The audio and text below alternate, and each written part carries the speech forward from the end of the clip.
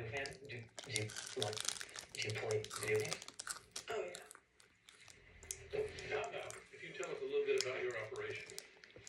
Um, I I don't know.